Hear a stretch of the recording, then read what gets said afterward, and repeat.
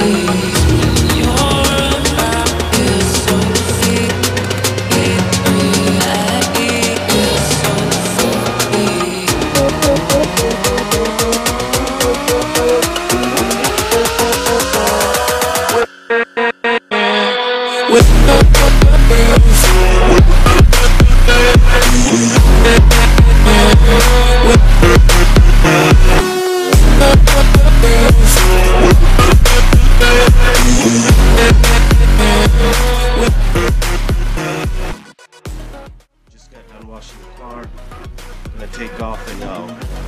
the scale, see what it weighs in its current configuration.